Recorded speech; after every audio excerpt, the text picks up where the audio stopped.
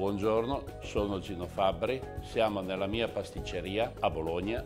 Oggi presentiamo il panettone basso, classico, tradizionale. Vediamo subito gli ingredienti del primo impasto. Farina, acqua, zucchero, lievito madre, burro e tuorli. Il nostro lievito madre, che viene portato avanti da tanti anni, deve essere rinfrescato con acqua, farina e lievito madre rinfrescato precedentemente diverse volte, fino ad arrivare alla triplicazione del volume. Quando il lievito è maturo possiamo procedere all'impasto. Si parte dall'acqua. Una volta che noi mettiamo l'acqua nella nostra impastatrice, un'impastatrice che abbia circa 70 battute al minuto, mettiamo anche la farina ed il lievito madre, poi gli facciamo prendere nervo. Quando comincia ad avere una certa lucentezza e si stacca dalle pareti della bacinella, cominciamo ad inserire il burro e quando avrà cominciato a prendere nervo anche questo impasto inseriamo anche i tuorli. Servono circa dai 20 ai 25 minuti. Finito questo impasto lo collochiamo dentro a dei recipienti che siano belli capienti perché lì dovrà triplicare il suo volume e la triplicazione deve avvenire in celle dove ci sia una temperatura costante di almeno 28 gradi con una umidità media. La lievitazione dell'impasto durerà tra le 12 e le 14 ore. Una volta trascorse le 14 ore, siamo pronti per il secondo impasto. Partiamo con la farina, poi incorporiamo l'impasto. Quando la massa è in tensione, procediamo con gli altri ingredienti. Aromi, zuccheri, cioè miele e zucchero semolato, sale, il tuorlo il burro, l'impasto avrà preso un po' di calore, gli andiamo a mettere un po' di ghiaccio e lo faremo riprendere questo nervo per poter inserire i cubetti di arancio e l'uvetta sultanina. Per la quasi totalità degli ingredienti utilizzo prodotti italiani. Per lo zucchero utilizzo uno zucchero da barbabietola, tagliato fine, e che mi garantisse anche un'ottima qualità nel prodotto finale. Riguardo agli aromi, gli aromi sono molto importanti per il panettone, cioè è la nostra personalizzazione del panettone. In una parte di burro di cacao fuso noi andremo ad inserire le bacche di vaniglia bourbon del Madagascar, andiamo a inserire la buccia d'arancio grattugiata, e andiamo a mettere anche un po' di pasta di arancio.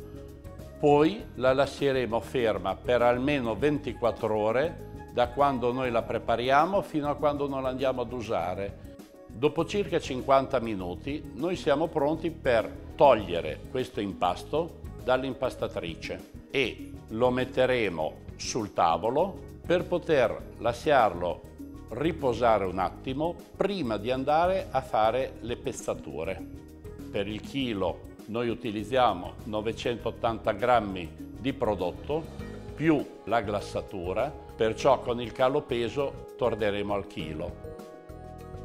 Procediamo con la pirlatura del pezzo tagliato, poi l'andremo a mettere nel pirottone da cottura e l'andremo a mettere in cella di lievitazione a 28-30 gradi circa per 7-8 ore circa. Quando il nostro panettone avrà raggiunto quasi la sommità del pirottone, verrà glassato con una glassa che è a base di mandorle tritate, albume, farina di mais, zucchero.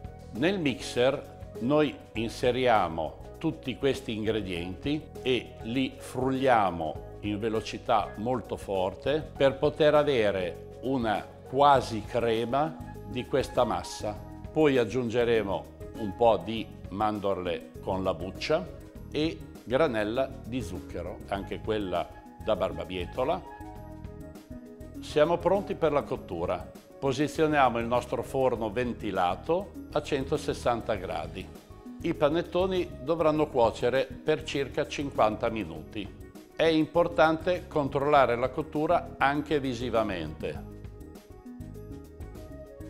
Passati 50 minuti, con una sonda digitale misureremo la temperatura del prodotto all'interno e quando avrà raggiunto i 96 gradi siamo sicuri che questo prodotto avrà l'acqua libera già trattenuta dalla stessa cottura. I nostri panettoni cotti vengono tolti dal carrello, posizionati sul tavolo e con la stecca porta panettone li stringiamo e la giriamo a sua volta capovolta la stecca per essere posizionata sulla rastrelliera porta panettone. Trascorse 12 ore dopo aver posizionato il panettone, toglieremo questi stessi panettoni e li mettiamo all'interno di un sacchetto Imoplefan dandogli una leggera spruzzo di alcol vanigliato. Lo chiudiamo ed è pronto per la confezione.